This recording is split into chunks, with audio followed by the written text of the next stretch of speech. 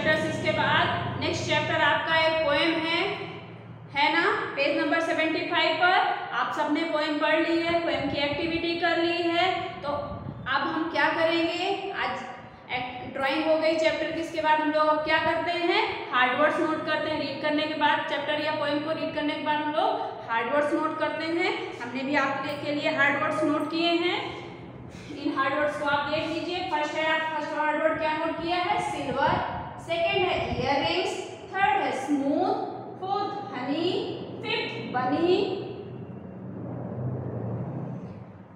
and six है graceful seventh है yummy eighth है स्टोरीज नाइन्थ है बॉम टेंथ है वाइस ये वर्ड्स हैं, इनको आप रिपीट ज़रूर कर लीजिएगा।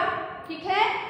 कम से कम वन टाइम या टू टाइम रिपीट करोगे तो और अच्छी बात है, आपका वर्ड बैंक बूस्ट करेगा स्पेलिंग्स क्लियर होगी। हार्ड वर्ड्स लिखने के बाद हम लोग क्या करते हैं? बताइए। हार्ड वर्ड्स लिखने के बाद हम लोग वर्ड मीनिंग्स पढ़ते हैं। तो हम लोग अब पढ़ेंगे वर्ड मीनिंग्स आपके पेज नंबर 75 पर देखिए, नीचे वर्ड मीनिंग्स लिखी हुई हैं। हम लोग पढ़ रहे हैं और इसको आप अपनी कॉपी पर इसी तरह नोट कर लीजिएगा।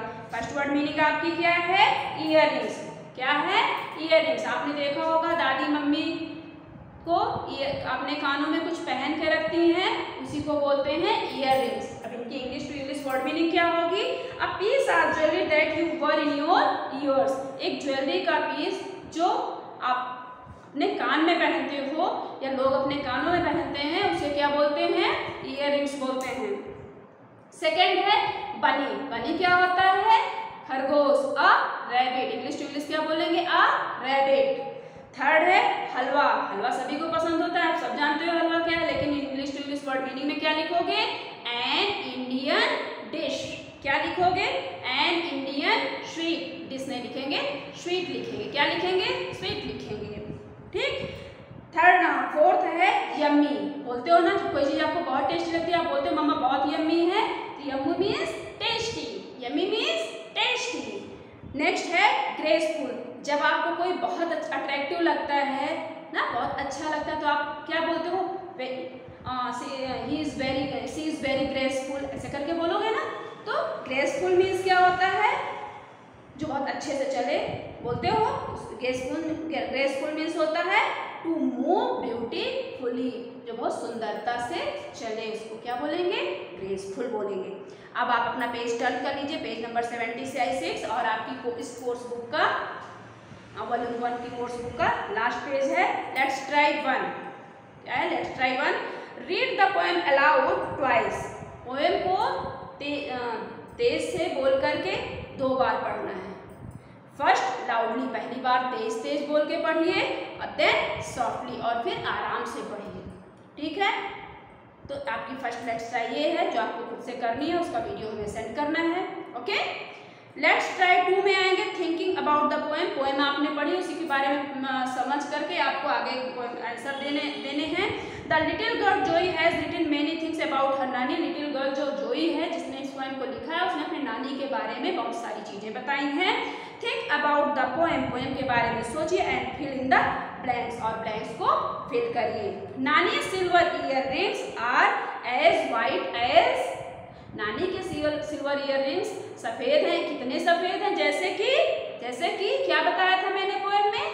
वेरी गुड आप सबको आंसर पता है milk nani cloth are as smooth as नानी के क्लॉथ कितने स्मूथ हैं? एज सिल्क जैसे कि silk nani voice is as sweet as नानी की वॉइस कितनी मीठी है? जैसे हनी फिर nani nani's hairs are as soft as कितने सॉफ्ट है नानी के हेयर जैसे बनी यानी कि रैबिट नानी हलवा इज़ एज हर नानी का हलवा उतना ही मीठा है इतना ही टेस्टी जैसे उनका प्यार इसी तरह आगे का भी आप फिल कर लीजिएगा।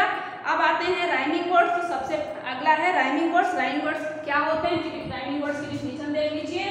The two words in each pair the two words in each pair sound similar जहाँ पेयर के दो वर्ड्स की साउंड सिमिलर हो स्पेलिंग से मतलब नहीं है साउंड सिमिलर हो, ऐसे words they are called rhyming words ऐसे वर्ड्स को हम क्या कहते हैं? Rhyming words rhyming words one second The two words in each pair sound similar. They are called rhyming words. ठीक?